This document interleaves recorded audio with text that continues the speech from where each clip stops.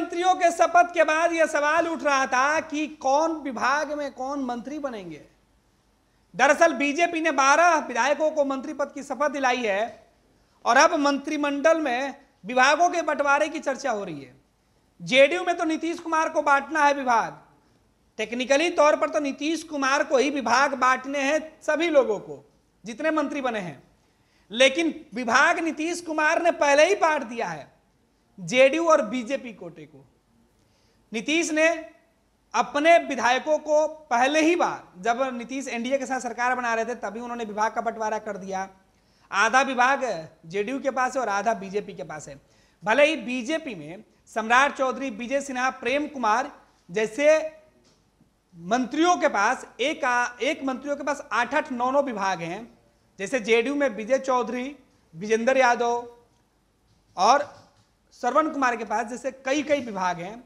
ठीक उसी प्रकार, इनके ऊपर भी विभाग दिया गया था।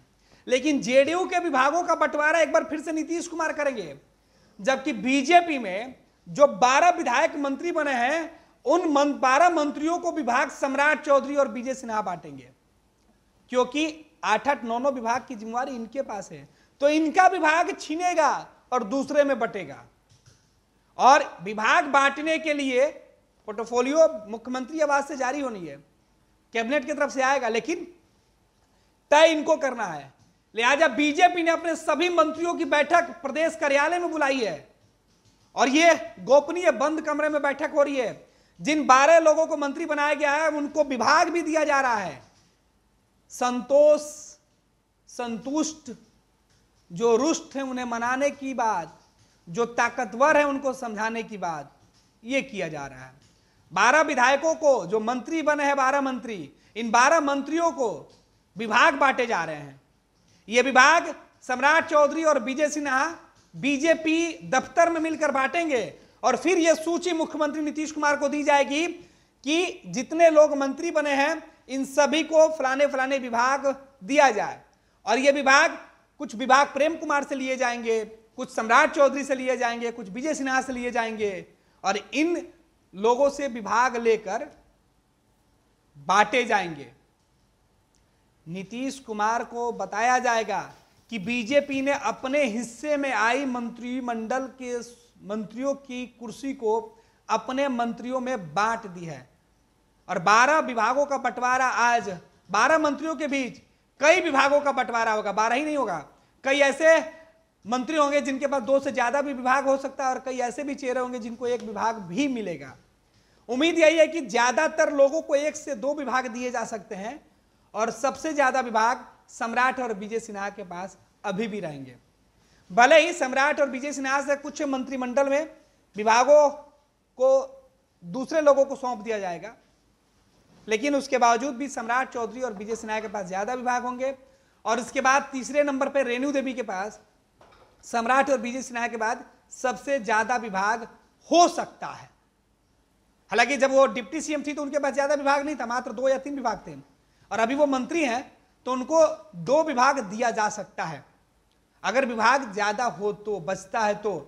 फ़िलहाल कोशिश होगी कि सबको एक एक प्रमुख विभाग दिए जाए, जो नए नए जो विधान परिषद के सदस्य हैं, या जो पहली बार विधायक बने जिनको मंत्री बनाया गया, वैसे लोगों को एक विभाग और इन सभी विभागों की है कि निगरानी सम्राट चौधरी और बीजे सिन्हा करेंगे। यह भी देखना दिलचस्प होगा। फ़िलहाल बीजेपी दफ्तर में विधायकों के बीच मंत्रिमंडल के विभाग बांटने की अंदरूनी जो बैठक है वो की जा रही है। हालाँकि बीजेपी ने मंत्रिमंडल विस्तार करके सबको खुश नहीं किया है। हर वर्ग के लोग बीजेपी के विधायक काफ़ी नाराज़ हैं। बीजेपी के विधायकों का कहना है कि सरकार हम बचाते हैं, पार्टी में जीत कर हम आते हैं। और मौका दूसरे को दिया जाता है। विधान परिषद से चुन के आने वाले लोगों पर बड़ा सवाल है। फ़िलहाल मंत्रिमंडल में कभी भी सीएम सचिवालय की तरफ़ से या मंत्रिमंडल सचिवालय की तरफ़ से लिस्टों का ऐलान हो सकता है। विभागों का सूची बीजेपी दफ्तर से अगर जाएगी तो आज ही मिल जाएगा और तीन बजे के पहले उम्मीद है कि सभी लोगों को विभाग बांट भी दिया जाए। लेकिन विभाग बीजेपी दफ्तर में विजय सिन्हा और सम्राट चौधरी प्रेम कुमार से लेकर ही दिया जाएगा। ये भी बड़ी खबर है। पनोरमा ग्रुप जो सोचता है वो करता है। ये लो मुँह मीठा करो। आज मैंने अपना जॉब छोड़ दिया। अब हम पूर्णिया वापस जाएँगे। जॉब छोड़ दिया है? मतलब? ये घर कैसे चलेगा? हम करेंगे क्या? और माँ बाबू जी क्या बोलेंगे? इसलिए मैं एक और मिठाई का डब्बा लाया। अपने बिज़नेस के लिए लोन अप्रूव हो गया अरे लोन अप्रूव हो गया वो तो ठीक है लेकिन पूर्णिया में हम रहेंगे कहाँ? अपना घर भी तो नहीं है वहाँ। इसलिए तो एक और मिठाई का डब्बा अलग से लाया हूँ। हमने पूर्णिया में घर ले लिया है। पूर्णिया के ई होम्स पैनोरमा में।